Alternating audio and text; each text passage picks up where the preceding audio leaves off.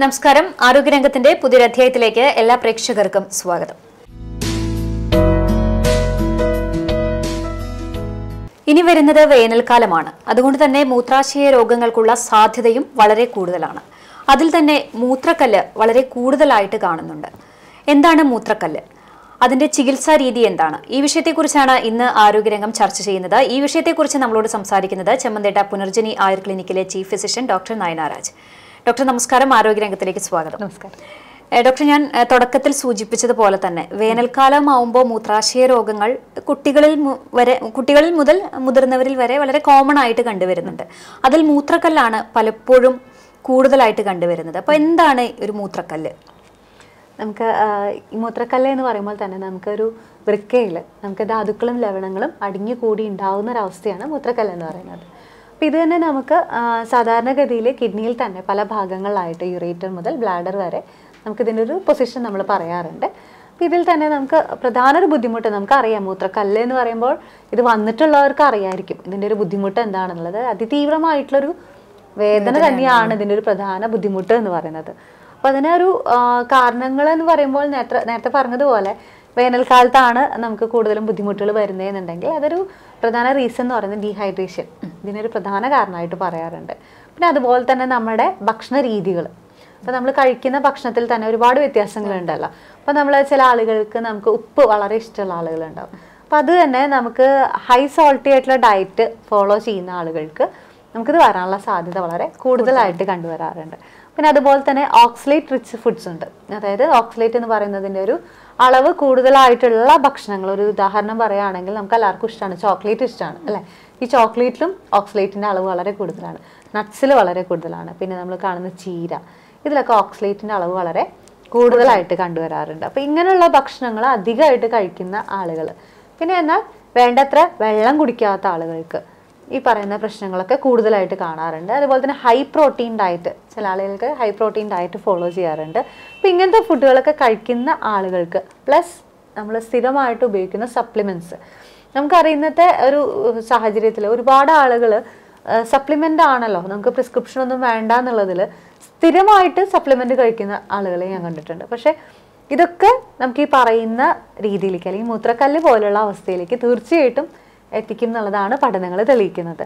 ഒരു ഉദാഹരണത്തിന് നമ്മൾ വിറ്റാമിൻ ഡി നമുക്കറിയാം നമുക്ക് ഏറ്റവും ഫ്രീലി അവൈലബിൾ ആയിട്ടുള്ള റിസോഴ്സ് സൺലൈറ്റിൽ നിന്നാണ് നമുക്ക് വിറ്റാമിൻ ഡി അതിന്റെ ഒരു ഉൽപ്പാദനം നടക്കുന്നത്. അപ്പോൾ പക്ഷേ മിക്ക ആളുകൾക്കും ഇന്ന് ചെക്ക് ചെയ്ത് കഴിഞ്ഞാൽ വിറ്റാമിൻ ഡി ബിലോ സെവൻ അല്ലെങ്കിൽ ആ ഒരു റേഞ്ചിലൊക്കെയാണ് കാണുന്നത്. അപ്പോൾ യൂഷ്വലി നമുക്ക് അതിന്റെ സപ്ലിമെന്റ്സ് സ്റ്റാർട്ട് ചെയ്യേണ്ടതായിട്ട് വരാറുണ്ട്. പക്ഷേ ചില ആളുകൾ നോർമലി ഡോക്ടേഴ്സ് ഒരു ടൈം പീരീഡ് ആണ് നമ്മൾ വിറ്റാമിൻ ഡിയുടെ ഒരു ഇത് പറയുന്നുണ്ടെങ്കിൽ മിക്ക ആളുകളും സാരല്ലേ എന്തായാലും കിട്ടാനുള്ളതല്ലേ? ഇരുന്നോട്ടെ. കണ്ടിന്യൂ ചെയ്തുകൊണ്ടിരിക്കും. ഇതിങ്ങനെ കണ്ടിന്യൂ ചെയ്യുമ്പോൾ തീർച്ചയായിട്ടും നമുക്കൊരു ശരീരത്തിന് വേണ്ടതായിട്ടുള്ള ഒരു അളവുണ്ട്. അപ്പൊ ഇതിനെ കൂടുതലൊക്കെ പോയി കഴിഞ്ഞാൽ നമുക്കറിയാം ഈ വൈറ്റമിൻസിന് എല്ലാത്തിനും ഒരു പ്രശ്നമുണ്ട്. ഇത് നോർമലി എല്ലാവർക്കും ഇതിനൊരു ഡെഫിഷ്യൻസി ആയിട്ടുള്ള ലക്ഷണങ്ങൾ മാത്രമേ എല്ലാവരും ശ്രദ്ധിച്ചിട്ടുള്ളൂ.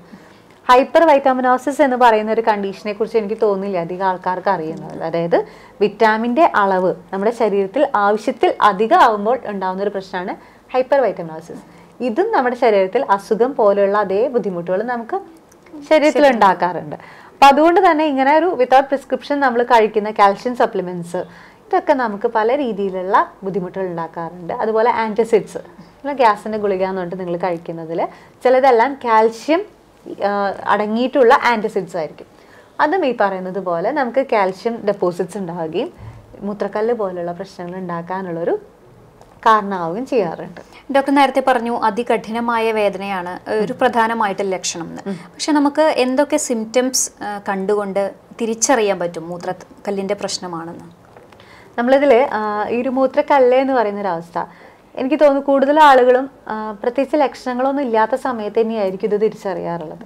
ഒരു ഉദാഹരണത്തിന് പറയുകയാണെങ്കിൽ നമ്മൾ മറ്റെന്തെങ്കിലും അസുഖങ്ങൾക്കായിട്ടൊരു ഒരു അബ്ഡോമൻ സ്കാൻ ചെയ്യുന്ന സമയത്ത് ആ ഒരു ബൈ ചാൻസ് അറിഞ്ഞു പോകുന്നതാണ് കിഡ്നിയിൽ അങ്ങനെ ഒരു ഒരു റീനൽ സ്റ്റോൺ കാണിക്കുന്നുണ്ട്. ഇത്ര സൈസിലാണ് എന്നൊക്കെ പറഞ്ഞിട്ട് നമുക്ക് റിസൾട്ട് കാണുമ്പോഴായിരിക്കും ഓക്കെ എനിക്ക് മൂത്രക്കല്ലുണ്ട് അല്ലെങ്കിൽ റീനൽ സ്റ്റോൺ ഉണ്ട് എന്നുള്ളത് തിരിച്ചറിയാറുള്ളത്. കാരണം നമുക്ക് നേരത്തെ പറഞ്ഞതുപോലെ കിഡ്നിയുടെ തന്നെ ഇപ്പം നമ്മൾ നോർമലി കിഡ്നിയിൽ മൂവ് ചെയ്യാത്തൊരവസ്ഥയിൽ അവിടെ ഇരിക്കുമ്പോൾ സമയത്ത് നമുക്ക് പ്രത്യേകിച്ച് ബുദ്ധിമുട്ടുകളോ വേദനകളോ കാര്യങ്ങളോ ഒന്നും ഉണ്ടാവാറില്ല. പക്ഷേ ആ ഒരു സ്റ്റോൺ അവിടുന്ന് മൂവ് ചെയ്തിട്ട് നമ്മുടെ യുറേറ്ററിലോ അല്ലെങ്കിൽ നമ്മുടെ ബ്ലാഡറിലോ വന്നിരിക്കുന്ന സമയത്താണ് അല്ലെങ്കിൽ അത് പാസ് ചെയ്യുന്ന സമയത്താണ് അതികഠിനമായിട്ടുള്ള ഒരു അതിതീവ്രമായിട്ടുള്ള ഒരു വേദന തന്നെയായിരിക്കാം ആ ഒരു സമയത്ത് അവർക്ക് അനുഭവപ്പെടുക. അപ്പോൾ അത് തന്നെ നമ്മൾ അടിവയറ്റിൽ നിന്ന് തുടങ്ങി താഴോട്ടുള്ള ഒരു രീതിയിലാണ് ലോയിൻ ടു ഗ്രോയിൻ എന്നുള്ള രീതി രീതിയിലാണ് നമുക്ക് ഈ ഒരു പെയിൻ ഫീൽ ചെയ്യാറുള്ളത്. അപ്പോൾ അതേപോലെ തന്നെ ചില ആളുകൾക്ക് നമുക്ക് ആ ഒരു വാരിയലിന്റെ അടിഭാഗത്ത് അതായത് നമ്മുടെ കിഡ്നിയുടെ ഒരു പൊസിഷന്റെ ഒരു ഇതനുസരിച്ചിട്ടാണ് വാരിയലിന്റെ ഒരു അടിഭാഗം മുതൽ നമുക്ക് വയറിന്റെ അവിടെ ഫുള്ള് സ്പ്രെഡ് ആവുന്ന രീതിയിലുള്ള ഒരു വേദന ചില ആളുകളെങ്കിലും പറയാറുണ്ട്. പിന്നെ അതുപോലെ തന്നെ ഒരു വേവി ആയിട്ടുള്ള ഒരു പെയിൻ ആണ് ഇതിന്റെ പ്രത്യേകത. അതായത് ഇടയ്ക്ക് പെട്ടെന്ന് അങ്ങോട്ട് കൂടും അതേപോലെ ഒന്ന് കുറഞ്ഞ് പെട്ടെന്ന് പ്രതീക്ഷിക്കാത്ത സമയത്ത് അവർക്കൊരു സഹിക്കാനാവാത്ത രീതിയിലുള്ളൊരു പെയിൻ അവിടെ ഫീൽ ചെയ്യാറുണ്ട്. അതുപോലെ തന്നെ ഒരു ടർബിഡ് ആയിട്ട് ഒരു ക്ലൗഡി ആയിട്ടുള്ള ഒരു യൂറിനാണ് അവർക്ക് ഇങ്ങനെയുള്ള ആളുകൾക്ക് പാസ് ചെയ്യാറുള്ളത്.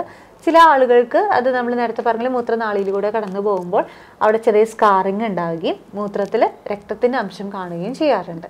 അപ്പോൾ അങ്ങനെ ഓരോ ആളുകൾക്കും വ്യത്യസ്തമായിട്ടുള്ള ലക്ഷണങ്ങളാണ് നേരത്തെ പറഞ്ഞതുപോലെ. അവിടുന്ന് ഒരു മൂവ്മെന്റ് നടക്കുന്നത് വരെ വലിയ രീതിയിലുള്ള വേദനയോ ബുദ്ധിമുട്ടോ ഒന്നും ഉണ്ടാവാറില്ല. പക്ഷെ അവിടുന്ന് നീങ്ങുമ്പോൾ വളരെ സഹിക്കാനാവാത്ത രീതിയിലുള്ള പെയിൻ തന്നെ മിക്ക ആളുകൾക്കും ഫീൽ ചെയ്യാറുണ്ട്. അവിടെ എന്തെങ്കിലും രീതിയിലുള്ള ഇൻഫെക്ഷൻ വരികയാണെന്നുണ്ടെങ്കിൽ നമുക്കവിടെ മിക്കവാറും ചെറിയ രീതിയിലുള്ള പനിയോ ബുദ്ധിമുട്ടുകളോ കൂടി കാണാറുണ്ട്. പിന്നെ മറ്റൊരു എല്ലാവർക്കും ഉണ്ടാവുന്നതല്ല. എന്നാൽ കൂടി ചില ആളുകൾക്ക് എപ്പോഴും ഗ്യാസിന്റെ ബുദ്ധിമുട്ട് എന്ന് പറഞ്ഞിട്ട് മിക്ക ആളുകളും ഗ്യാസിന്റെ ഇതൊന്നും ആരും ഡോക്ടറെ കാണിക്കില്ലല്ലോ. അപ്പോൾ ആ ഒരു അവസ്ഥയിൽ മിക്കവാറും അവർ ഒരു എന്താ പറയുക ആന്റസിഡ്സ് അവർ കഴിച്ചുകൊണ്ടിരിക്കുന്നുണ്ടാവും. അപ്പോൾ അത് കഴിക്കുമ്പോൾ അവർക്ക് താൽക്കാലികമായിട്ടൊരു ശമനം തോന്നുകൊണ്ട് തന്നെ അവർ വിട്ട് കളയുകയും. പിന്നീട് അതിതീവ്രമായിട്ടുള്ള ഒരു വേദനയാവുന്ന സമയത്താണ് അവർക്കത് മനസ്സിലാവുന്നത്. ഇതൊരു റീനൽ സ്റ്റോണിന്റെ ലക്ഷണമായിരുന്നു. അവർക്ക് അത്രയും ഒരു ഗ്യാസ്ട്രിക് ഇറിറ്റേഷൻ ഫീൽ ചെയ്തത് എന്നുള്ളത് മനസ്സിലാക്കാനായി സാധിക്കും ഡോക്ടർ അതുപോലെ മൂത്രാശയക്കല്ല് എന്ന് പറയുമ്പോൾ ഉടനടി സർജറിയാണ് പലപ്പോഴും മനസ്സിൽ വരിക. കാരണം അത് സർജറി നടത്തി കഴിഞ്ഞാലാണ് കല്ല് റിമൂവ് ചെയ്യാൻ പറ്റുള്ളൂ എന്നുള്ള ഒരു ധാരണ പൊതുവായിട്ടുണ്ട്. പക്ഷേ എല്ലാ കല്ലിനും ഇതുപോലെ സർജറിയുടെ ആവശ്യകത എത്രത്തോളം ഉണ്ട് ഡോക്ടർ? നമുക്ക് സർജറി എന്നൊക്കെ പറയുമ്പോൾ മിക്കവാറും നമുക്ക് ഓരോ സൈസ് അനുസരിച്ചിട്ടാണ്. നമ്മളൊരു റീനൽ സ്റ്റോൺ എന്ന് പറയുമ്പോൾ ബിലോ ത്രീ എം എം ഒക്കെ ആണെന്നുണ്ടെങ്കിൽ നമുക്ക് തീർച്ചയായിട്ടും നമുക്ക് എനിക്ക് തോന്നുന്നു വിത്തൗട്ട് മെഡിസിൻസ് നമുക്ക് ഒരു ബുദ്ധിമുട്ടും ഇല്ലാതെ തന്നെ ധാരാളം വെള്ളം കുടിക്കുന്നതോട് കൂടി തന്നെ നമുക്ക് വലിയ വേദനയും ഇല്ലാതെ അത് പുറന്തള്ളി പോകാറുണ്ട് ഒരു three M M to five M M ഒക്കെ ആകുമ്പോൾ നമുക്കത് മരുന്നുകളോട് പോ സുഖമായിട്ട് ഭേദാക്കാന്നുണ്ടെങ്കിൽ പോലും അത് പുറത്തേക്ക് പോകുന്ന ഒരു സമയത്ത് നല്ല വേദന ഉണ്ടാവാറുണ്ട് ചില ആളുകൾക്ക്. എന്നാൽ അതിന് മുകളിലേക്ക് പോകുമ്പോഴാണ് നമുക്ക് കുറച്ച് ബുദ്ധിമുട്ടാണ്. എന്നാൽ പോലും എനിക്ക് തോന്നുന്നു നമ്മൾ ഈ ആയുർവേദത്തിൽ നമ്മൾ സുഖമായിട്ടത് മാറിപ്പോവാവുന്ന ഒരിതാണ് ചില ആളുകൾക്ക് ഇതിനോട് അസോസിയേറ്റ് ചെയ്തിട്ടുള്ള മറ്റുള്ള അസുഖങ്ങൾ ഉണ്ടാവുന്ന ഒരു അവസ്ഥയിലാണ് നമ്മളത് കുറച്ചും കൂടി ഒരു സർജറി തന്നെയാണ് ഇവർക്ക് നല്ലത് എന്നുള്ളൊരു അവസ്ഥയിലേക്ക് പോകാറുള്ളത് പക്ഷെ ജനറലി അതൊന്നും നമുക്ക് വേണ്ടി വരാറില്ല. മാത്രമല്ല നേരത്തെ പറഞ്ഞ പോലെ കല്ലിന്റെ പൊസിഷൻ അത് വളരെ ഇമ്പോർട്ടന്റ് ആണ്. പിന്നെ ഏത് ടൈപ്പ് കല്ലാണ് നമ്മൾ മൂത്രക്കല്ല് എന്ന് പറയുമ്പോൾ ജനറലൈസ് ചെയ്തിട്ടാണ് പറയാറുള്ളത്. ഇതിൽ തന്നെ നമുക്ക് നാല് തരത്തിലുള്ള മൂത്രക്കല്ലുകൾ പ്രസന്റ് ആണ്. അപ്പം അതിൽ തന്നെ നമുക്ക് ഏറ്റവും കോമൺ ആയിട്ട് നമ്മൾ കണ്ടുവരുന്നത് കാൽഷ്യം സ്റ്റോൺസ് ആണ്. ഏറ്റവും കൂടുതലായിട്ട് കണ്ടുവരാറുള്ളത്. അപ്പം ഇതിൽ തന്നെ കാൽഷ്യം ഓക്സൈഡ് സംയുക്തങ്ങളാണ് സാധാരണഗതിയിൽ കാണാറുള്ളത്. അപ്പം അതിനൊരു പ്രധാന കാരണം എന്ന് പറയുന്നത് നേരത്തെ പറഞ്ഞതുപോലെ നമ്മൾ ഓക്സൈഡ് റിച്ച് ആയിട്ടുള്ള ഭക്ഷണങ്ങൾ കഴിക്കുന്നത് വഴി. ഇപ്പം അതിൽ തന്നെ നമുക്കറിയാം മധുരക്കിഴങ്ങ് അതുപോലെ തന്നെ നട്ട്സ് പിന്നെ ബീട്രൂട്ട് വെണ്ടക്കായ ഇതിലൊക്കെ കൂടുതലായിട്ട് നമുക്കൊരു ഓക്സിലേറ്റ് അംശങ്ങൾ അല്ലെങ്കിൽ ചീരയിലൊക്കെ കുറച്ച് ഓക്സലേറ്റിന്റെ അളവ് കൂടുതലായിട്ട് കാണാറുണ്ട്. അപ്പോൾ അതുപോലെ തന്നെ നമ്മുടെ ലിവറിന്റെ ഒരു മെറ്റബോളിസം നടക്കുന്ന സമയത്തും ഇതേപോലെ തന്നെ ഓക്സിലേറ്റ് പുറന്തള്ളപ്പെടുന്നുണ്ട്. ഇതിന്റെ ഒരു അളവ് കൂടുന്ന ഒരു സമയത്ത് അപ്പോൾ അതായത് നമ്മുടെ ശരീരത്തിൽ തന്നെ എപ്പോഴാണ് മൂത്രക്കല്ല് ഉണ്ടാവുക വെച്ച് കഴിഞ്ഞാൽ ഇതൊക്കെ നോർമലി എല്ലാവരുടെ ശരീരത്തിൽ നടക്കുന്നതാണ്. എന്നാൽ ചില ആളുകൾക്ക് ഇതിന്റെ അളവ് കൃത്യമായിട്ട് ചെല്ലുകയും എന്നാൽ അതിനനുസൃതമായിട്ടുള്ള ഒരു ഫ്ലൂയിഡിന്റെ അളവ് നമ്മുടെ ശരീരത്തിൽ ഇല്ലാതിരിക്കുകയും അതേപോലെ തന്നെ നമുക്ക് ശരീരത്തിൽ ഇതിന്റെ തന്നെ അതായത് നമുക്കൊരു ക്രിസ്റ്റൽ ഫോം ചെയ്യാതിരിക്കാൻ വേണ്ടിയിട്ടുള്ള ഇൻഹിബിറ്ററി പ്രോട്ടീൻസ് നമ്മുടെ ശരീരത്തിലുണ്ട്. അപ്പോൾ നെഫ്രോ പ്രോട്ടീൻ എന്നൊക്കെ പറയുന്ന ഒരു പ്രോട്ടീൻസ് നമ്മുടെ ഒരു ഇതിലുണ്ട്. ഇൻഹിബിറ്ററി പ്രോട്ടീൻസ് ഉണ്ട്. എന്നാൽ ഇതിന്റെ അളവ് ഇല്ലാതിരിക്കുകയും ചെയ്യുന്ന ഒരു അവസ്ഥയിൽ നമുക്കതൊരു മൂത്രക്കല്ലായിട്ട് മാറുകയാണ് ചെയ്യുന്നത്. അപ്പോൾ ഇതിൽ തന്നെ നമ്മൾ നേരത്തെ പറഞ്ഞതുപോലെ കാൽഷ്യം ഓക്സലേറ്റ് സംയുക്തങ്ങൾ ഉണ്ടാവാറുണ്ട്. അതേപോലെ തന്നെ ചില ആളുകൾക്ക് മറ്റുള്ള മെറ്റബോളിക് ഡിസോർഡേഴ്സ് ഒരു ഷുഗർ പോലെയുള്ള അല്ലെങ്കിൽ നേരത്തെ പറഞ്ഞ പോലെ റീനൽ ട്യൂബുലർ അസിഡോസിസ് എന്നൊക്കെ പറയുന്ന ഒരു കണ്ടീഷൻ ഉണ്ട്. അപ്പോൾ അതൊക്കെ ഉള്ള ആളുകൾക്ക് ഈ പറയുന്നത് പോലെ നമുക്കൊരു കാൽഷ്യം ഫോസ്ഫേറ്റ് ആയിട്ടുള്ള ഒരു സംയുക്തങ്ങൾ ഫോം ചെയ്യുകയും അപ്പോൾ ആ ഒരു രീതിയിലുള്ളൊരു സ്റ്റോണാണ് അവിടെ ഉണ്ടാവാറുള്ളത്. ഇനി രണ്ടാമത്തെ ഒരു കാറ്റഗറി എന്ന് പറയുന്നത് സ്ട്രുവൈറ്റ് സ്റ്റോൺസ് ആണ്. ഇപ്പോൾ ഈ സ്ട്രുവൈറ്റ് സ്റ്റോൺസ് ഉണ്ടാകുന്നത് ഒരു അമോണിയ അല്ലെങ്കിൽ യൂറിയയുടെ ഒക്കെ പ്രസൻസ് കൊണ്ടാണ് ആ ഒരു രീതിയിലുള്ള ഒരു കല്ല് ഉണ്ടാവുന്നത് അപ്പോൾ അതിന്റെ ഒരു പ്രധാന കാരണം എന്ന് പറഞ്ഞാൽ റെക്കറന്റ് ആയിട്ടുള്ള യൂറിനറി ട്രാക്ട് ഇൻഫെക്ഷൻസ് അതായത് ഇടയ്ക്കിടയ്ക്ക് മൂത്രപ്പഴുപ്പ് പോലുള്ള പ്രശ്നങ്ങൾ വരുന്ന ആളുകൾക്കാണ് സ്റ്റുവൈറ്റ് സ്റ്റോൺസ് വരാനുള്ള ഒരു സാധ്യത. കാരണം അവിടെ അങ്ങനെ കൂടുതൽ മൂത്രം റെസിഡ്യൽ യൂറിൻ കൂടുതലായിരിക്കും. പൂർണമായിട്ട് ഒഴിഞ്ഞു പോകാറില്ല. അപ്പം അങ്ങനെ ഒരു അവസ്ഥയിൽ നമുക്ക് ഈ പറയുന്ന പോലെ സ്റ്റുവൈറ്റ് സ്റ്റോൺസ് ഫോം ചെയ്യാനുള്ള സാധ്യത കൂടുതലാണ്. അടുത്തൊരു കാറ്റഗറി എന്ന് പറഞ്ഞാൽ യൂറിക് ആസിഡ് ക്രിസ്റ്റൽസ് ആണ്. ഈ യൂറിക് ആസിഡ് സ്റ്റോൺ എന്ന് പറഞ്ഞു കഴിഞ്ഞാൽ നമുക്കറിയാം നമുക്ക് ഇതിൽ തന്നെ യൂറിക് ആസിഡ് പല കാരണങ്ങൾ കൊണ്ട് നമ്മുടെ ശരീരത്തിൽ ഉൽപ്പാദിപ്പിക്കപ്പെടുന്നുണ്ട്. അതോടൊപ്പം തന്നെ നമ്മുടെ ഭക്ഷണ രീതികളിൽ വരുന്ന മാറ്റങ്ങൾ. അപ്പം അതിൽ തന്നെ ഹൈ പ്രോട്ടീൻ ഡയറ്റ് ഫോളോ ചെയ്യുന്ന ആൾക്കാർക്ക് പിന്നെ അതുപോലെ തന്നെ ഒരുപാട് വ്യായാമം ചെയ്യാത്ത ആളുകൾക്കും ഇതൊക്കെ നമുക്ക് ഈ പറയുന്ന പോലെ യൂറിക് ആസിഡ് സ്റ്റോൺസ് ഫോം ചെയ്യാനാണ് സാധ്യത കൂടുതൽ. ലാസ്റ്റ് വളരെ റെയർ ആയിട്ടുള്ള ഒരു കാറ്റഗറി എന്ന് പറയുന്നത് സിസ്റ്റൈൻ സ്റ്റോൺസ് ആണ്. അതായത് സിസ്റ്റിന്യൂറിയ എന്ന് പറഞ്ഞിട്ട് ഒരു കണ്ടീഷൻ ഉണ്ടാവാറുണ്ട്. അതൊരു ജനിതകമായിട്ടുള്ള പ്രശ്നമാണ്. ഈ സിസ്റ്റിന്യൂറിയ എന്ന് പറയുന്നത് നമ്മൾ സിസ്റ്റൈൻ എന്ന് പറയുന്ന ഒരു അമിനോ ആസിഡ് ആണ്. ഇത് കൂടുതലായിട്ട് ശരീരത്തിൽ നിന്ന് പുറന്തള്ളപ്പെടുന്ന ഒരു അവസ്ഥയാണ് സിസ്റ്റിന്യൂറിയ അപ്പോൾ ആ ഒരു കേസുള്ള അങ്ങനെ അസുഖങ്ങളുള്ള ആളുകൾക്ക് നമുക്ക് ഈ പറയുന്ന പോലെ സിസ്റ്റിന്യൂറിയ വരാനുള്ള ഒരു അങ്ങനത്തെ സ്റ്റോൺസ് സിസ്റ്റിൻ സ്റ്റോൺസ് ഉണ്ടാവാനുള്ള സാധ്യത കൂടുതലാണ്. അപ്പോൾ ഇതിൽ ഏത് കാറ്റഗറി സ്റ്റോൺസ് ആണ് നമുക്ക് വന്നിട്ടുള്ളത്? അതിനനുസൃതമായിട്ടുള്ളൊരു ട്രീറ്റ്മെന്റ് മൊഡാലിറ്റിയാണ് അവിടെ എടുക്കേണ്ടി വരുന്നത്. അപ്പോൾ അതിൽ തന്നെ എല്ലായ്പ്പോഴും ജനറലി ഇപ്പൊ ഒരു മോഡേൺ മെഡിസിൻ നോക്കുകയാണെന്നുണ്ടെങ്കിൽ അതിൽ ഫസ്റ്റിന് സർജറി അല്ല. ആദ്യം തന്നെ E S W L extracorporeal shock wave lithotripsy അതായത് ഒരു സൗണ്ട് വേവ് ഉപയോഗിച്ച് ഒരു ശക്തമായിട്ടുള്ള സൗണ്ട് വേവ് ഉപയോഗിച്ചിട്ട് നമ്മുടെ ആ ഒരു സ്റ്റോൺസിനെ പൊടിച്ച് കളയുന്ന ലിത്തോട്രിപ്സി എന്ന് പറയുന്ന ഒരു ടെക്നിക്കാണ് അവിടെ യൂസ് ചെയ്യുന്നത്. ഈ ഇ എസ് ഡബ്ല്യു എൽ വഴി നമുക്കത് പൂർണമായിട്ടും പുറന്തള്ളപ്പെടാത്ത ഒരു അവസ്ഥയിൽ മാത്രമാണ് നമുക്ക് ലിത്തോട്ടോമി പോലുള്ള ഓപ്പൺ സർജറീസ് അവിടെ ആവശ്യമുള്ളൂ. അപ്പോൾ ഈ ലിത്തോട്ടോമി ഒക്കെ ചെയ്യുമ്പോൾ നമുക്ക് എങ്ങനെയാണെന്ന് വെച്ച് കഴിഞ്ഞാൽ നമ്മുടെ ബാക്ക് സൈഡിൽ അതായത് കിഡ്നിയുടെ ആ ഒരു പൊസിഷൻ ആ ഒരു ബാക്ക് സൈഡിൽ ചെറിയൊരു ഇൻസിഷൻ ഇട്ടിട്ട് അതുവഴി സ്റ്റോണിനെ എടുക്കുകയാണ് ചെയ്യാറുള്ളത്. ഇതില്ലാന്നുണ്ടെങ്കിൽ നമുക്ക് പറയുന്ന ഒരു സ്കോപ്പി നമ്മൾ യുറേറ്റർ സ്കോപ്പി വഴി നമ്മൾ കൃത്യമായിട്ട് അതിന്റെ ഒരു ഇത് നോക്കി അത് പുറത്തേക്ക് എടുക്കുക. അങ്ങനെ ഒരു രീതിയാണ് ചെയ്യാറുള്ളത്. ചില ആളുകൾക്ക് പാരാതൈറോയ്ഡ് ഗ്രന്ഥിയുടെ അമിതമായിട്ടുള്ള പ്രവർത്തനം സംഭവിക്കാറുണ്ട്. ഈ പാരാതൈറോയ്ഡ് ഗ്രന്ഥി അമിതമായിട്ട് പ്രവർത്തിക്കുമ്പോൾ ഉണ്ടാവുന്ന ആ ഒരു ഹോർമോൺ ഇത് നമുക്ക് കാൽഷ്യം ഡെപ്പോസിഷൻ അതായത് ചില ആളുകൾക്ക് ഒരു കിഡ്നി സ്റ്റോൺ വന്നിട്ടുണ്ടാവും. അപ്പോഴേക്കും ഒരു വർഷത്തിനുള്ളിൽ തന്നെ രണ്ടോ മൂന്നോ വട്ടം അവർക്ക് പിന്നെയും അത് റിക്കർ ചെയ്തിട്ട് വന്നിട്ടുണ്ടാവും. അപ്പം അങ്ങനെയുള്ളതാകുമ്പോൾ നമുക്കൊരു പാരാതൈറോയ്ഡ് ഗ്രന്ഥിയുടെ അതിപ്രവർത്തനം അവിടെ നടക്കുന്നുണ്ടോ എന്ന് സംശയം സംശയം തോന്നാം. അപ്പം അങ്ങനെ ഒരു കേസിൽ ചില വളരെ റയർ കേസിൽ പാരാതൈറോയ്ഡ് സർജറി വേണ്ടി വന്നേക്കാം. അപ്പം ഇതൊക്കെയാണ് ജനറലി അവർ യൂസ് ചെയ്യുന്ന മൊഡാലിറ്റി പിന്നെ അതേപോലെ തന്നെ ഞാൻ നേരത്തെ പറഞ്ഞതുപോലെ ചില ആളുകൾക്ക് നമുക്ക് നേരത്തെ പറഞ്ഞതുപോലെ കിഡ്നിന്ന് ഇറങ്ങി വന്നു. എന്നാൽ അവർക്കത് കൃത്യമായിട്ട് അവരെ ഒരു ബ്ലാഡറിലേക്ക് എത്തിയിട്ടില്ല എന്നുള്ള ഒരു അവസ്ഥയിൽ ഒരു പെൽവിക്കോ യുറേറ്റർ ജംഗ്ഷനിലുണ്ടാവും അത് അവിടെ അങ്ങനെ തടങ്ങി നിൽക്കുമ്പോൾ എന്താ സംഭവിക്കുക വെച്ച് കഴിഞ്ഞാൽ സാധാരണഗതിയിൽ മൂത്രത്തിൽ ഉണ്ടാവുന്ന ഒരു ഒഴുക്ക് അവിടെ നഷ്ടപ്പെടുകയും ആ കിഡ്നിയുടെ ആ ഒരു പോർഷൻ വന്ന് വീർക്കുകയും ചെയ്യും. അങ്ങനെ വരുമ്പോൾ അവിടെ ഒരു ഒരു ശക്തമായിട്ടുള്ള യുറേറ്റിക് സ്പാസം പെയിൻ അവിടെ ഫീൽ ചെയ്യാറുണ്ട്. അപ്പോൾ അങ്ങനെ ഒരു ഇത് വരുമ്പോഴാണ് മിക്ക ആളുകളും പെട്ടെന്ന് തന്നെ ഹോസ്പിറ്റലിൽ പോയി നമുക്ക് ട്രീറ്റ്മെന്റ്സ് എന്നുള്ള രീതിയിലേക്കൊക്കെ എടുക്കേണ്ടി വരാറുള്ളത്. അപ്പോൾ ഇതിൽ നമ്മൾ സാധാരണഗതിയിൽ ഇതിനൊരു ട്രീറ്റ്മെന്റ് മൊഡാലിറ്റി എന്ന് പറഞ്ഞു കഴിഞ്ഞാൽ അവിടെ ആൽഫ ബ്ലോക്കേഴ്സ് ആൽഫ ബ്ലോക്കേഴ്സ് കൊടുക്കുക ചെയ്യുക. ഈ ആൽഫ ബ്ലോക്കേഴ്സിന്റെ ഒരു പ്രധാന ഒരു ഫങ്ഷൻ എന്ന് പറയുന്നത് നമുക്ക് യുറേറ്ററിന്റെ മസിൽസ് അവരവിടെ റിലാക്സ് ചെയ്ത് സ്മൂത്ത് ചെയ്ത് ഇടുകയും അതുവഴി കുറച്ചും കൂടി എളുപ്പത്തിൽ സ്റ്റോൺസ് ഫ്ലഷ് ഔട്ട് ചെയ്യാനും വേദന കുറയ്ക്കാനുമാണ്. ഒരു നമ്മൾ ഫ്ലോമാക്സ് പോലുള്ള മരുന്നുകളൊക്കെയാണ് അവിടെ യൂസ് ചെയ്ത് വരാറുള്ളത്. അപ്പോൾ ഈ ഒരു സ്റ്റേജിൽ നിന്നൊക്കെ വിട്ടിട്ടും മാറിയില്ലെങ്കിൽ മാത്രമാണ് മോഡേൺ പെർസ്പെക്റ്റീവിലും സർജറി എന്ന് പറയുന്ന ഒരു അവസ്ഥയിലേക്ക് പോവാറുള്ളൂ ഡോക്ടർ മൂത്രാശയ രോഗങ്ങൾ എന്ന് പറയുമ്പോൾ പലപ്പോഴും വെള്ളം ഒരുപാട് കുടിച്ചു കഴിഞ്ഞാൽ മൂത്രാശയ രോഗങ്ങൾ ഉണ്ടാവില്ല എന്ന് ഒരുപാട് പേർക്ക് ഒരു ധാരണയുണ്ട്. പക്ഷേ ഈ വെള്ളം മാത്രമാണ് വെള്ളം ഒരുപാട് കുടിച്ചത് കൊണ്ട് മാത്രം മൂത്രാശയ രോഗങ്ങളെ തടയാനായിട്ട് സാധിക്കും ഒരു പരിധി വരെ നമുക്ക് അതിന്റെ ഒരു പ്രധാന ഒരു നമ്മൾ പ്രിവെന്റീവ് എന്നുള്ള ഒരു ആസ്പെക്റ്റിൽ പറയുമ്പോൾ തീർച്ചയായിട്ടും നമ്മൾ കൃത്യമായിട്ടുള്ള അളവിൽ നമ്മുടെ ശരീരത്തിൽ വെള്ളത്തിന്റെ അംശം ഉണ്ടെന്നെങ്കിൽ ഒരു പരിധി വരെ നമുക്കിത് വരില്ല എന്ന് വേണമെങ്കിൽ പറയാം. പിന്നെ അതുപോലെ തന്നെ മറ്റുള്ളൊരു റിസ്ക് ഫാക്ടറാണ്. നമ്മൾ ഒരിക്കലും സാധ്യതയാണ് ഇതൊക്കെ.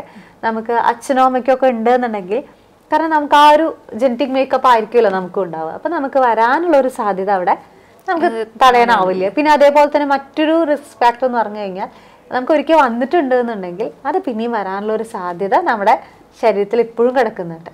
പിന്നെ അതേപോലെ തന്നെയാണ് നേരത്തെ പറഞ്ഞ പോലെ ഡീഹൈഡ്രേഷൻ ചില ആളുകൾക്ക് ഈ പറയുന്ന പോലെ എന്തെങ്കിലും ക്രോണിക് ഡയേറിയ വഴി അപ്പോൾ ഒരുപാട് ബുദ്ധിമുട്ടുണ്ടാക്കി എന്ന് വിചാരിക്കുക. അതേപോലെ തന്നെ മാൽ അബ്സോർപ്ഷൻ സിൻഡ്രോം ഉണ്ട്.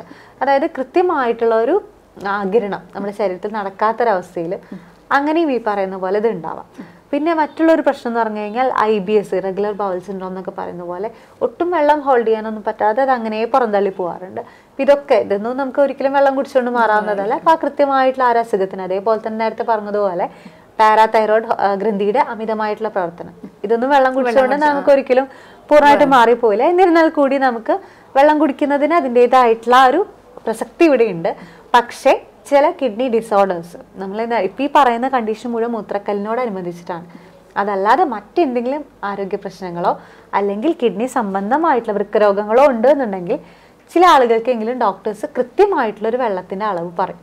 അതിനും കൂടുതൽ കുടിക്കാനായിട്ട് പാടുകയില്ല. അപ്പൊ അതൊക്കെ നമ്മൾ മനസ്സിൽ വെച്ചിട്ട് വേണം. അതല്ലാതെ എല്ലാവരും എപ്പോഴും കുറെ വെള്ളം കുടിച്ചുകൊണ്ട് ഒരിക്കലും ഇത് എല്ലാവർക്കും ഒരേപോലത്തെ ഒരു ട്രീറ്റ്മെന്റ് മെത്തേഡ് ആയിരിക്കില്ല. നേരത്തെ പറഞ്ഞതുപോലെ മറ്റെന്തെങ്കിലും അസുഖം ഉണ്ടെങ്കിൽ ഒരിക്കലും നമ്മൾ ഡോക്ടർ പറയുന്നേക്കാൾ കൂടുതൽ അളവിലുള്ള വെള്ളം കുടിക്കാനോ ഒന്നും പാടില്ല.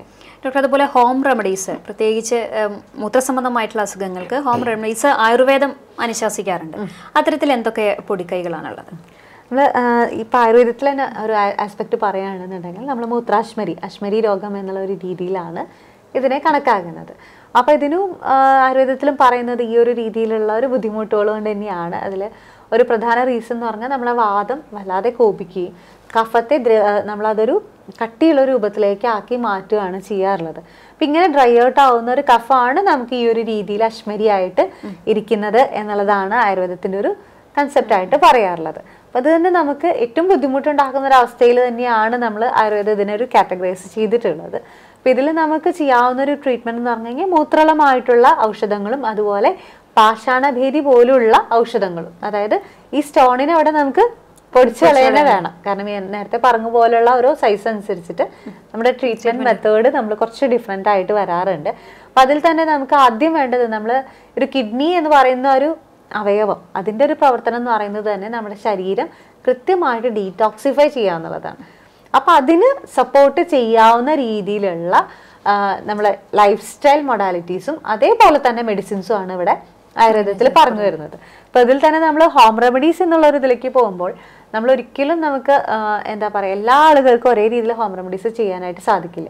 ഒരു ഉദാഹരണം പറയുകയാണെങ്കിൽ നമുക്ക് ഇതിന്റെ സൈസ് ഒരു ട്വൽവ് എം എം ഒക്കെ ഉള്ള ഒരാൾക്ക് ഹോം റെമഡീസ് മാത്രം മതിയായിരിക്കില്ല. അതോടൊപ്പം തന്നെ നമ്മൾ ആയുർവേദ ഔഷധങ്ങൾ കൂടി ഇതിനൊപ്പം കൊടുത്ത് അതിന്റെ ഒരു അളവ് കുറയ്ക്കേണ്ടതായിട്ടുണ്ട് നേരത്തെ പറഞ്ഞ പോലെ ഒരു അമിതമായിട്ടുള്ള ഒരു അതിതീവ്രമായിട്ടുള്ള ഒരു വേദന വരുമ്പോൾ ഒരിക്കലും മിക്ക മിക്ക ആളുകളും അതൊരു ചിന്തിക്കാനായിട്ട് സാധിക്കാത്തൊരവസ്ഥയിലുള്ള ഒരു വേദനയായിരിക്കും ഉണ്ടാവുക. അപ്പൊ അതുകൊണ്ട് തന്നെ നമ്മളത് തുടക്കത്തിൽ തന്നെ ഫസ്റ്റ് ഓഫ് ഓൾ നമ്മളിതിനൊരു പ്രിവെൻഷൻ എന്നുള്ള ഒരു രീതിയിൽ തന്നെ നമ്മുടെ ഭക്ഷണ രീതികളിൽ ഒരുപാട് മാറ്റങ്ങൾ വരുത്തേണ്ടതുണ്ട്. അപ്പം അതിൽ തന്നെ പ്രധാനം എന്ന് പറയുന്നത് നമ്മൾ ധാരാളം മീൻ അറ്റ്ലീസ്റ്റ് നമ്മളൊരു രണ്ട് മുതൽ മൂന്ന് ലിറ്റർ വെള്ളമെങ്കിലും ഒരു ദിവസത്തിൽ കുടിക്കാനായിട്ട് നമ്മൾ ശ്രദ്ധിക്കേണ്ടതുണ്ട്. പിന്നെ അതേപോലെ തന്നെ നമ്മളൊരു സെഡന്ററി ആയിട്ടുള്ള ഒരു ജീവിത രീതിയുള്ള ആളുകളാണെന്നുണ്ടെങ്കിൽ അതൊന്ന് മാറ്റി നമ്മൾ കുറച്ചും കൂടി വ്യായാമമൊക്കെ കൃത്യമായിട്ട് നമ്മുടെ ജീവിതത്തിൽ ഉൾപ്പെടുത്താനായിട്ട് ശ്രദ്ധിക്കണം. പിന്നെ അതുപോലെ ഭക്ഷണ രീതികൾ നമ്മൾ അമിതമായിട്ട് ഈ നേരത്തെ പറഞ്ഞതുപോലെ തന്നെ നമ്മൾ ഒരു പറ എടുത്തു പറയുന്നതാണ് ഇപ്പം നമ്മൾ മധുരക്കിഴങ്ങ് അല്ലെങ്കിൽ ചീര അങ്ങനെയുള്ള ഭക്ഷണങ്ങൾ ബീട്രൂട്ട് ഇങ്ങനത്തെ കൂടുതലായിട്ടുള്ള ഭക്ഷണങ്ങളൊക്കെ ഒന്ന് കുറയ്ക്കാനും പകരം നമുക്ക് കൂടുതലായിട്ടും നമ്മൾ വാട്ടർ കണ്ടന്റ് അധികമായിട്ടുള്ള ഫ്രൂട്ട്സും വെജിറ്റബിൾസും നമുക്ക് ഭക്ഷണത്തിൽ കൂടുതലായിട്ട് ഉൾപ്പെടുത്താനായിട്ട് പറയുന്നുണ്ട്. അപ്പം അതിൽ തന്നെ നമുക്ക് തണ്ണിമത്തൻ. തണ്ണിമത്തൻ നമുക്ക് അറിയാം ധാരാളം വെള്ളം വെള്ളത്തിന്റെ അളവുള്ളതാണ്. അപ്പം അത് നമുക്ക് ഭക്ഷണത്തിൽ ഉൾപ്പെടുത്താം. അതുപോലെ ക്യാരറ്റ് നല്ലതായിട്ട് പറയുന്നുണ്ട്. മുള്ളങ്കി.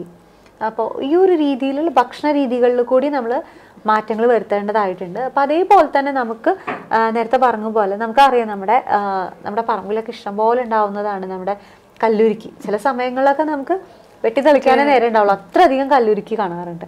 ഇത് നമുക്ക് ഈ കല്ലുരുക്കി ആ പേര് പോലെ തന്നെയാണ് നമുക്കത് കല്ലിനെ ഉരുക്കി കളയാൻ അത്രയും ശക്തിയുള്ള ഒരു ഇതാണ് പറയുന്നത്. ഇതിനെ ആയുർവേദത്തിൽ പാഷാണഭേദി എന്ന് പറയും. പാഷാണഭേദം എന്ന് പറയുന്ന ചെടി തന്നെ നമുക്ക് ഈ ഒരു പേരിൽ തന്നെ ഒരുപാട് ചെടികൾ പറയുന്നുണ്ട്. അപ്പം അതിൽ തന്നെ നമ്മുടെ നാട്ടിൽ ഈസിലി അവൈലബിൾ ആയിട്ടുള്ളതാണ് കല്ലുരുക്കി. ചെറിയ മണിമണി പോലെയുള്ള പൂക്കളായിട്ടുള്ള കല്ലുരുക്കി ഇഷ്ടംപോലെ അവൈലബിൾ ആണ്. അപ്പം നമുക്കൊരു കാര്യം ചെയ്യാം. ഇന്ന് ഈ കല്ലുരുക്കി സമൂലം ഒരു ചെടി എടുക്കുക അതേപോലെ തന്നെ ചെറുള തഴുതാമ ഞെരിങ്ങൽ ഇതെല്ലാം ഏകദേശം ഒരു കൈപ്പിടി എന്നുള്ള ഒരു അളവിലിട്ട് ഒരു മൂന്ന് ലിറ്റർ വെള്ളത്തിലിട്ട് നന്നായി തിളപ്പിച്ച് ഏകദേശം ഒരു രണ്ട് ലിറ്ററായി വറ്റിച്ച് അരിച്ചെടുത്തിട്ട് കുടിക്കാനായിട്ട് ഉപയോഗിക്കാം. അത് ഒരുമിച്ചിരുന്ന് കുടിക്കുകയല്ല രാവിലെ മുതൽ വൈകുന്നേരത്തിനുള്ളിൽ തന്നെ ആ ഒരു വെള്ളം കുടിച്ചതാക്കുന്നത് നമുക്കൊരു ഫ്ലഷ് ഔട്ട് ചെയ്യാനായിട്ട് ഇത് നല്ല രീതിയിൽ സഹായിക്കാറുണ്ട്. അതുപോലെ തന്നെ നമുക്ക് കരിമ്പിന്റെ നീര്.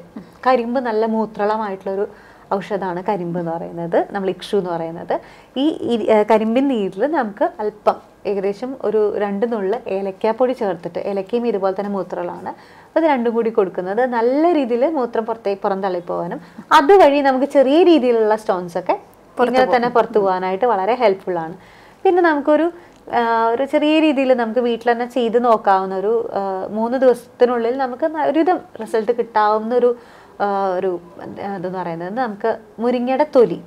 മുരിങ്ങയുടെ തൊലി ചെറിയൊരു ഇത് എടുത്തതിന് ശേഷം ഏകദേശം ഒരു മുരിങ്ങയുടെ തൊലി എടുക്കുക. നന്നായി കഴുകി അതിന്റെ പുറത്തെ കട്ടിയുള്ള ഭാഗം ഇളക്കി കളയുക. അത് ബാക്കിയുള്ളത് നന്നായി ചതച്ചെടുത്ത് ഒരു പാത്രത്തിലിട്ട് വയ്ക്കുക അതിലേക്ക് ഒരു ഗ്ലാസ് ഇളനീര്.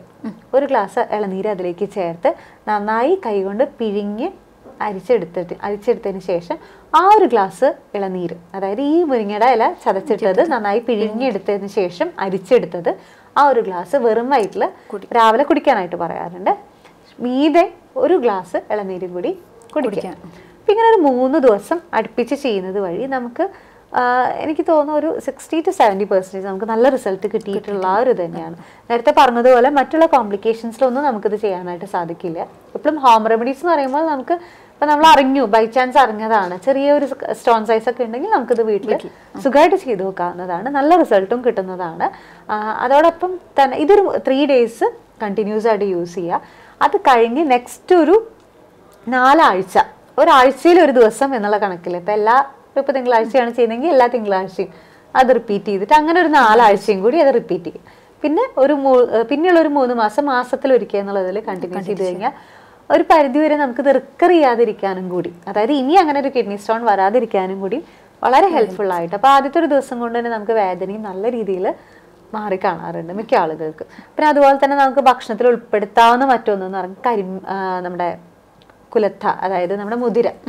മുതിരയും ഈ പറയുന്ന പോലെ കുലത്ത എന്ന് പറയുന്നത് സ്റ്റോൺ ബ്രേക്കിംഗ് ആയിട്ട് തന്നെയാണ് പറയാറുള്ളത്. അപ്പോൾ ആ ഒരു രീതിയിൽ നമുക്ക് മുതിര ഏതെങ്കിലും വിധേന നമ്മുടെ ഭക്ഷണത്തിൽ ഉൾപ്പെടുത്തുന്നത് നല്ലതാണ്. അതേപോലെ തന്നെ വാഴപ്പിണ്ടി. ഭക്ഷണത്തിൽ ഉൾപ്പെടുത്തുന്നത്. നമുക്ക് വാഴപ്പിണ്ടി എന്നൊക്കെ പറയുന്നത് നല്ല രീതിയിൽ ശരീരത്തിലെ നല്ല ഫൈബർ കണ്ടന്റ് ഉള്ള ഒരു ഫുഡാണ് വാഴപ്പിണ്ടി എന്ന് പറയുന്നത്. അപ്പോൾ അത് നമുക്ക് ശരീരത്തിലെ നല്ല രീതിയിൽ ഡീറ്റോക്സിഫൈ ചെയ്യാൻ വേണ്ടിയിട്ട് എന്തെങ്കിലും ഒന്ന് കെട്ടിക്കിടക്കുന്നുണ്ടെങ്കിൽ പൂർണമായിട്ട് അത് ഫ്ലഷ് ഔട്ട് ചെയ്യാൻ വളരെ ഹെൽപ്ഫുൾ ആയിട്ടുള്ള ഒന്നാണ് നമുക്ക് ഈ വാഴപ്പിണ്ടി. അപ്പോൾ ആ ഒരു രീതിയിൽ ഭക്ഷണ രീതികളൊക്കെ നമ്മുടെ ഒരു ഫുഡ് റൂട്ടീനിൽ ഉൾപ്പെടുത്തുകയാണെന്നുണ്ടെങ്കിൽ നല്ല രീതിയിൽ നമുക്കിത് പൂർണമായിട്ടും മാറ്റിയെടുക്കാവുന്ന ഒന്ന് തന്നെയാണ്.